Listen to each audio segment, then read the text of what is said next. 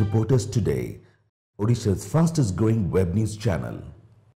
Cell-style quad man was detained on Thursday for allegedly raping a minor girl in Baulanga village and the Tigiria police limit. The god man Ramesh Nayak was staying in the village as a house husband while his in-laws have accused him for sexually assaulting niece on Wednesday night.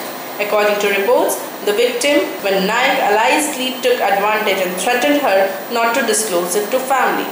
However, the matter came to limelight after that minor's grandmother found blood stain on her clothes. Upon asking, the victim then narrated the ordeal to her grandmother.